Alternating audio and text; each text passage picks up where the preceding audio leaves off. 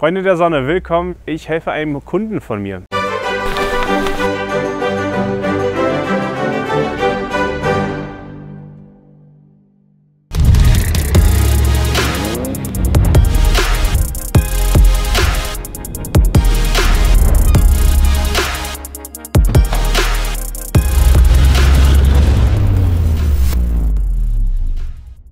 Wir sind bei einer neuen Folge vom Ultimate Zentrum Berlin.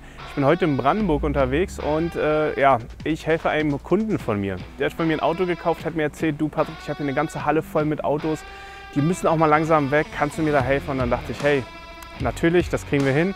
Da habe ich gedacht, ich nehme den Kameramann mit und wir zeigen euch mal jetzt gemeinsam, was hier drin ist. Also kommt mit und viel Spaß.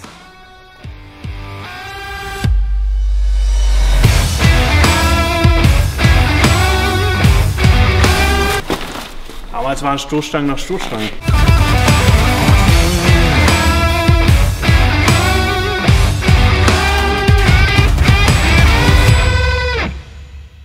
Äh, ich werde euch die Autos zeigen. Ich habe hier äh, meine schlaue Liste und äh, da habe ich alle Eckdaten, Preise und so weiter. Die gebe ich euch jetzt alle mit.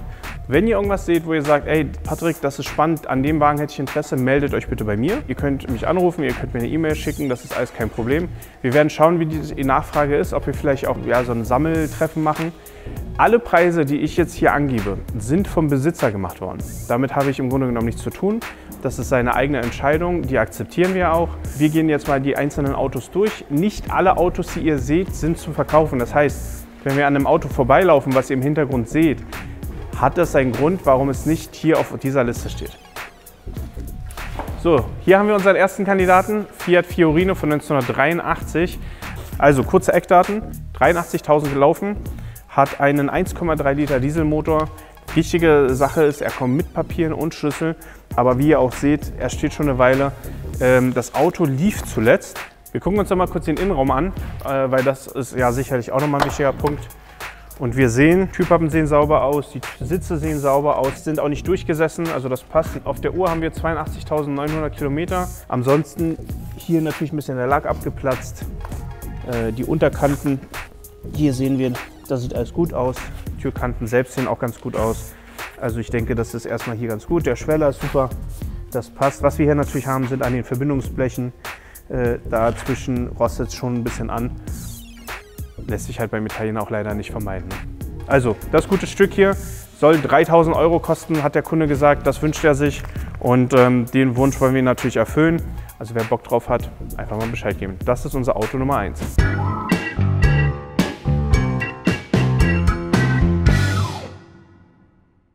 Wir müssen das auch noch mal kurz äh, auch klarstellen, dass es da auch keine Missverständnisse gibt. Alle Autos, die wir hier anbieten, werden verkauft als Restaurationsobjekte, als Fahrzeuge, die ähm, augenblicklich nicht laufen.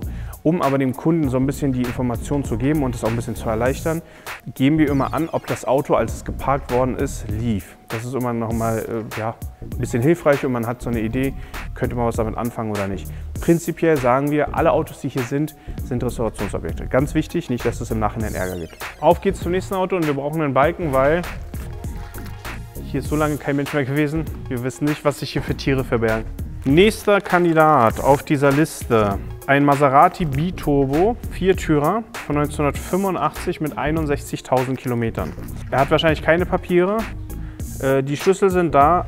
Zuletzt, wo er abgestellt wurde, lief das äh, Auto auch noch. Der hat den 420er Motor drin, ist komplett und soll 2500 Euro kosten. Ich nehme jetzt nicht die ganze Folie runter, einfach weil hier sind leider auch ein paar Sachen drauf, die schon sehr, sehr viele Jahre drauf liegen.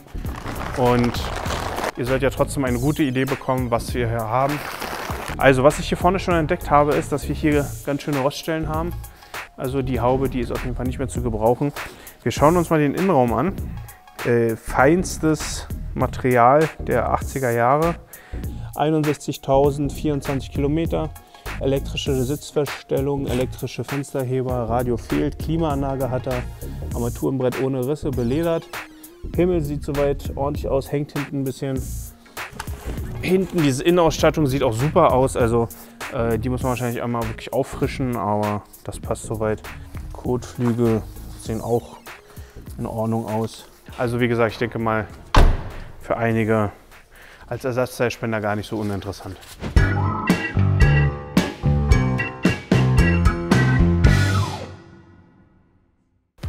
So. Und hier haben wir einen Alpha 33 aus der ersten Serie. Baujahr ist nicht bekannt, aber das tragen wir euch nach. 140.000 Kilometer auf der Uhr, ähm, kommt mit Papieren, kommt mit Schlüssel. Lief auch zuletzt, auch das ist nochmal ganz äh, interessant für viele. Und ansonsten äh, möchte der Kunde gerne 1500 Euro dafür haben. So, Tür ist offen, aber wir sehen, hier gibt es auch ein paar Mitbewohner. Die Sitze sehen super aus. Armaturenbrett ist nicht gerissen. Also vom Innenraum her auf jeden Fall noch brauchbar. Vom Lack her auch gar nicht so schlimm. Rosttechnisch sind die Türen auch in Ordnung. Hui, muss aber eine große Spinne gewesen sein. Ja, also auch hier ist die Sitzausstattung, Innenausstattung wunderbar. Für Alpha-Liebhaber vielleicht gar nicht das Verkehrte.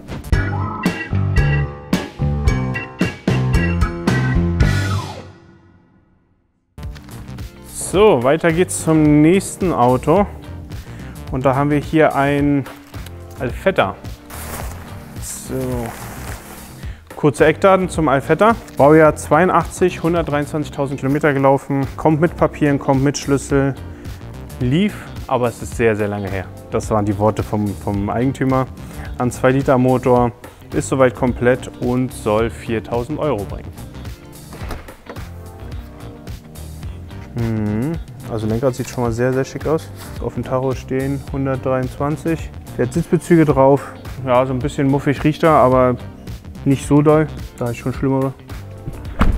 Und ansonsten, ja, rot. Gucken wir uns mal hier. Die Unterkanten sind schon pickelig. Hier auch ein bisschen. Und auch hier haben wir diese Sitzbezüge drauf. Der ist eigentlich beige, sehen wir hier. Ist auch nochmal ganz spannend.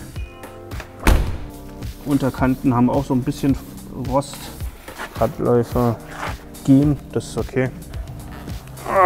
So, schwere Haube. Das können wir zum Motor sagen. Typischer Alpha-Motor. So, Öl ist drin. Sieht jetzt auch nicht so schlecht aus. Also, das sollte funktionieren. So, also ich würde sagen, für Kandidat 4 ist das gar nicht so schlecht. Alpha-Jungs, wo seid ihr? Wir haben für euch die passenden Projekte hier.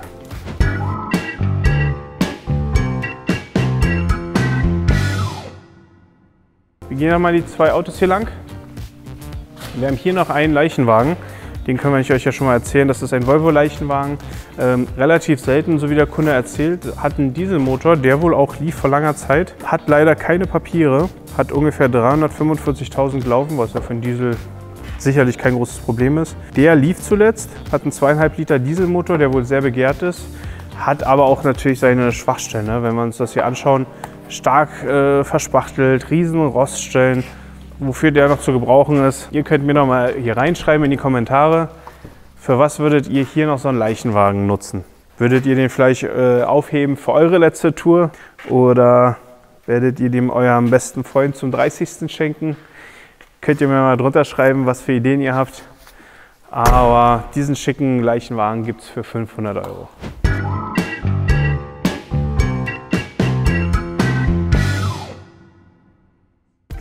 So, jetzt gehen wir nochmal nach hinten. Hier haben wir nochmal was versteckt. So, Alpha 164 ist natürlich jetzt nicht im allerbesten Zustand. Baujahr 91. Nächstes Jahr gibt es dafür die Haarzulassung 191.000 gelaufen. Kommt mit Papieren, kommt mit Schlüssel. Lief und ist sehr, sehr lange her. Also auch hier sicherlich einiges an Arbeit zu machen. Ähm, das Auto ist soweit komplett. Sollte, wenn es gut wäre, 500 Euro bringen. Innenausstattung, Ledersitze. Na Leute, also wenn euch da 500 Euro nicht wenigstens für die Ledersitze wert sind, ja, das sieht doch gut aus hier. Also Restaurationsobjekt, 500 Euro.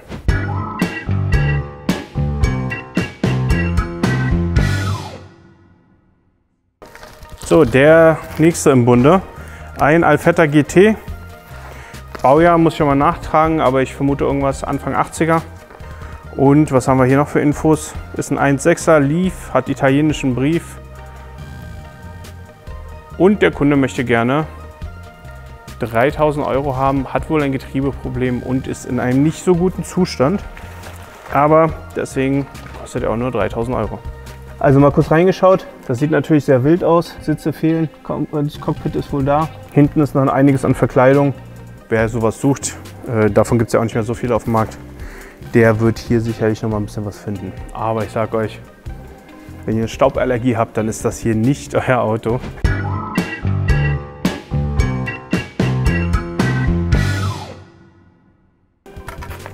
So, weiter geht's. Wir gehen jetzt rüber in die nächste Halle und ich sage euch wirklich, hier gibt es einiges.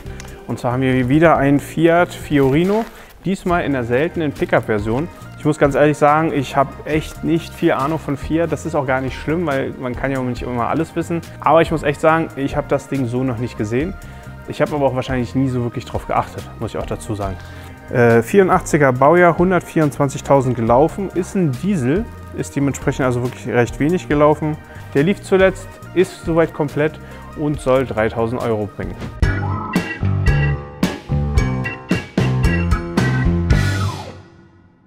Das nächste Auto, was wir hier in der Kollektion haben, ist ein Lancia Dedra. Kannte ich bis dato auch nicht. Die sind wohl relativ selten, weil dieses Auto hier auch Allrad besitzt.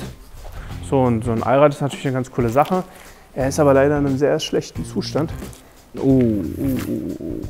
Also, Lancia Dedra 4x4, Baujahr 94, 171.000 äh, gelaufen hat Papiere, hat Schlüssel, lief zuletzt, beziehungsweise jetzt läuft er nicht mehr, hat einen 2 Liter Benziner, soll 1200 Euro bringen. Und ich würde sagen, das, was ihr hier drin seht, das gibt es gratis mit dazu.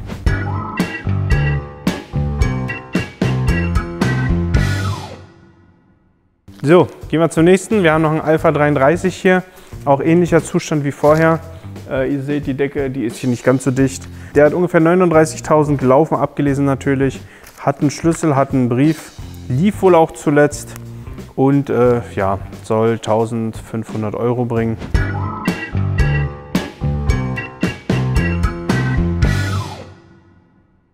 So, zum nächsten Auto und ich sage euch, äh, wahrscheinlich eines der coolsten Autos, die wir jetzt hier haben. Und zwar haben wir hier einen Volga M24, ungefähr von 1975.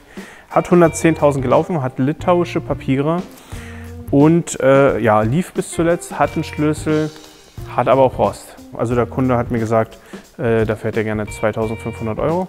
Äh, wenn ihr da also Bock drauf habt, meldet euch. Die Kinder aus dem Ostblock, die kennen das Auto sicherlich kennen. Ich habe da nicht so viele Berührungspunkte zu. Ich zeige euch aber nachher mal ein Auto, was ich aus meiner Kindheit kenne. Motor sieht soweit komplett aus. Wie gesagt, laut dem Eigentümer äh, lief der auch bis zum Netz. Hier sehen wir auch noch das wunderschöne Typenschild. Ach, ich muss mich sogar korrigieren. 1984, nicht 1975. Auch das ist nochmal wichtig. Batterie ist ausgebaut. Stoßstangen, naja, wie sieht es halt so in der Stoßstange nach so vielen Jahren aus. Äh, wir gucken uns noch mal kurz den Innenraum an. Ja, ich kann euch auf jeden Fall sagen, sieht deutlich besser aus als das, was es vorher hier zu sehen gab. Innenraum sieht wirklich okay aus, gar nicht so schlimm. Ist vollständig, keine Risse im Armaturenbrett. Hinten hat er hier noch irgendwie so eine Plana, aber das sieht soweit ordentlich aus. Also, ich würde sagen, soweit ein solides Auto, aber der hat Rost. Auch das muss man bedenken.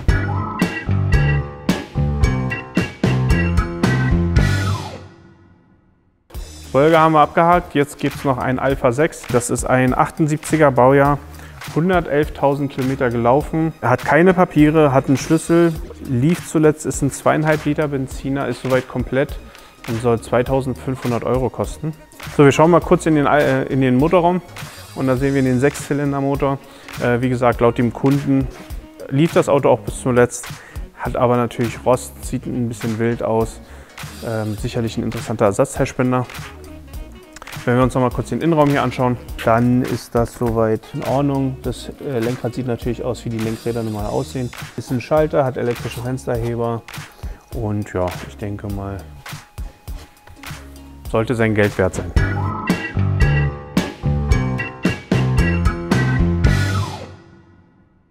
So, gehen wir zum nächsten rüber.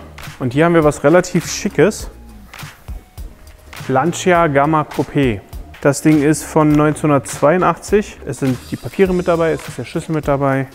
Äh, das Auto lief zuletzt Es ist soweit komplett und soll 3500 Euro kosten.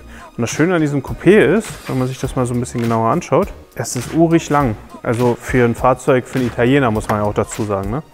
So, ähm, wir haben hier relativ viel Platz und wir haben hinten auch nochmal eine Sitzbank. Ähm, sicherlich auch für mittelgroße Italiener sollte das, sollte das passen. Äh, ansonsten, was haben wir hier? Das sieht soweit erstmal ganz gut aus. Hier unten haben wir Rost. Das äh, ja, lässt sich bei Italien, äh, Italienern ja leider nicht äh, vermeiden. So, machen wir die Haube auf. So. Was sehen wir? Ich muss ganz ehrlich sagen, ich habe keine Ahnung, weil ich einfach nicht der Lancia-Typ bin. Aber da kommt ihr ja ins Spiel. Ihr könnt mir ja mal erzählen, was für einen Motor hat er, äh, was für typische Schwächen sind das. Wie gesagt, ich kann nicht alles wissen. Ich gebe mein Bestes, aber ich kann hier auch nur die Informationen übernehmen, die ich sozusagen vom Eigentümer bekommen habe.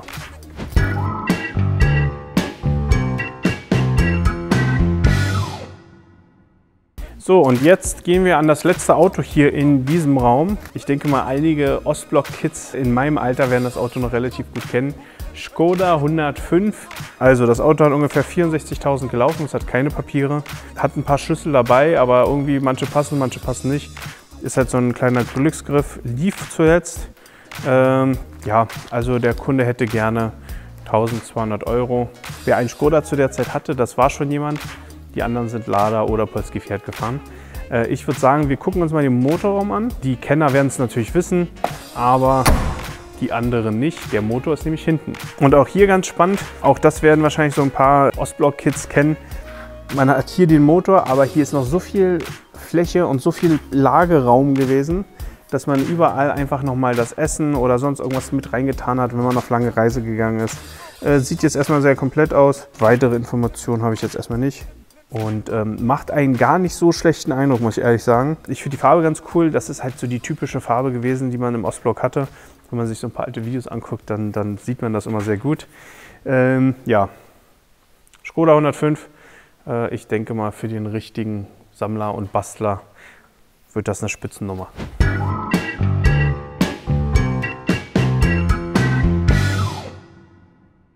All die Autos, die ihr jetzt hinter mir seht, diese stehen alle nicht zum Verkauf. Die möchte der Eigentümer behalten und das äh, akzeptieren wir natürlich auch so. Wir haben jetzt hier noch ein Fahrzeug.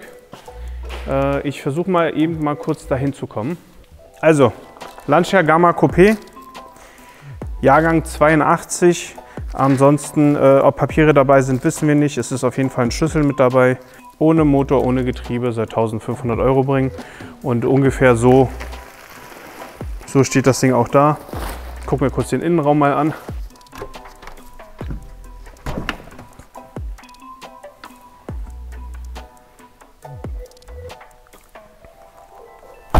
Innenraum ist auf jeden Fall da. So viel kann ich euch sagen. Aber wie gesagt, das ist halt wirklich ein Ersatzteilspender. Ähm, so, also wer Ersatzteile braucht, das sollte vielleicht das interessante Auto sein.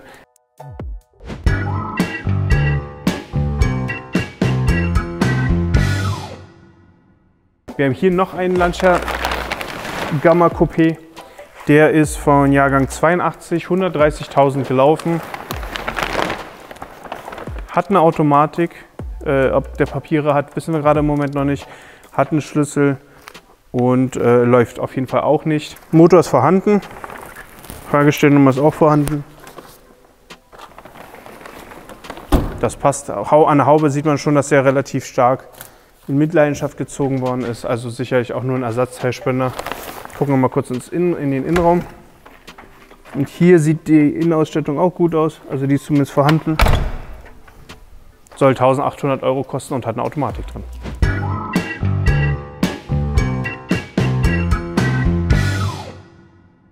Jetzt geht es weiter. Wir haben nämlich noch ein letztes Fahrzeug und das ist ein Maserati. So, und zwar ist das hier ein Maserati 425, Viertürer, diebstahlsicher vom Eigentümer aufbewahrt, wie wir sehen.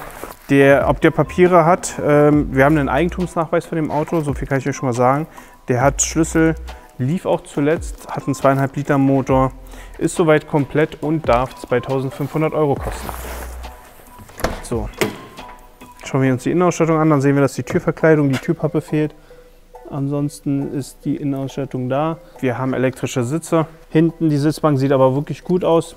Da kann man sicherlich mit den Sitzen auch was anfangen. Ähm, ich denke mal, das sollte passen. Ich denke mal, auch das ist für einen Bastler irgendwie was Cooles. Gerade wenn man wirklich Teile braucht für einen Motor oder so, ist das ja wirklich nicht verkehrt.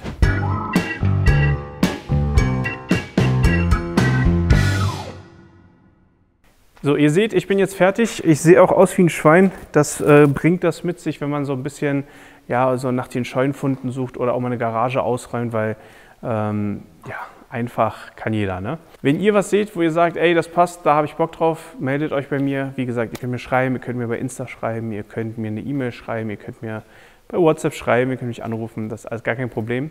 Wenn ihr jemanden kennt, der vielleicht was verkaufen will, der eine Scheune hat voller Autos, wo ihr äh, wisst, der Opa, der Onkel, da stehen ganz viele Autos, die sollen eigentlich weg, aber man hat irgendwie noch nicht die Zeit gefunden, dann können wir auch gerne rumkommen und können gerne so quasi das gleiche Format mit euch machen. Äh, und ansonsten, wenn ihr jemanden habt, den ihr kennt, vielleicht ein Opa, ein Onkel, äh, irgendjemand aus der Familie, ein Nachbar, wo ihr wisst, da ist eine Scheune, da sind ganz viele schicke Autos drin, gebt uns Bescheid. Wir haben da auf jeden Fall Bock drauf und vielleicht können wir wieder so ein, äh, so ein Videoformat hier starten und dann gibt es die nächsten coolen Videos. Und wenn euch das Video gefallen hat, lasst uns einen Daumen nach oben da, abonniert den Channel, ganz wichtig, ihr könnt uns auch gerne auf Instagram folgen.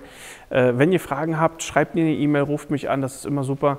Ansonsten war es das erstmal von mir. Ich hoffe, ihr hattet viel Spaß und ich würde sagen, bis zum nächsten Mal.